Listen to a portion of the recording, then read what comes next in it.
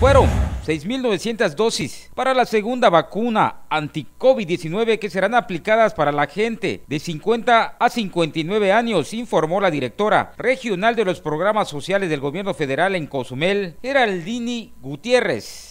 Dijo que aún queda un grupo pendiente de esa edad que no se les aplicó la primera dosis. Agregó que en caso de que pierdan su comprobante deben imprimir su cartilla. En los módulos hay una lista a los que se les ha aplicado la primera dosis y no hay ningún problema para que se les aplique la segunda dosis. Así es, el día de hoy estamos iniciando la jornada de vacunación para este, en su segunda dosis para este grupo de edad de 50 a 59 años.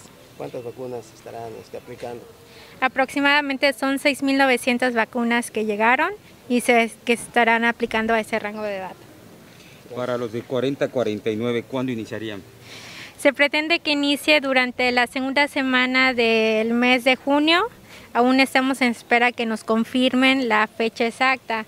Todavía pues tenemos que recordar que hay un grupo de 50 a 59 años que se encuentra rezagado, entonces estamos igual en espera de que nos llegue un lote para pues para esas personas que han quedado rezagadas no alcanzaron su vacuna del, 5 al 8 de mayo que se estuvo aplicando. Y de los 60, de los 60 69 también creo que había unas personas rezagadas, ¿no? Eh, sí, se, se, han estado eh, vacunando, se les aplicó su vacuna del 5 al 8 de mayo a todas esas personas de 60 años que habían estado quedando rezagadas.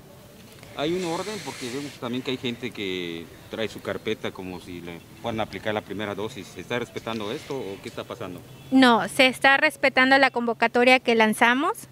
Bueno, no olviden traer el comprobante de vacunación, traer una identificación que, que acrediten que es la persona que va a recibir la segunda dosis, venir este, desayunados, bien hidratados, eh, no suspender ningún medicamento para que bueno, para que no vaya a tener ningún efecto secundario a la vacuna. Pues en eso ese, nosotros tenemos una lista de registro de las personas que se les aplicó la primera dosis. Entonces, sin ningún problema, igual pueden este, descargar de nuevo su expediente de vacunación, eh, acercarse con nosotros y nosotros corroboramos de que sí se le haya aplicado la primera dosis. Para Canal 10, Jorge Q, Imágenes, Iván Maldonado.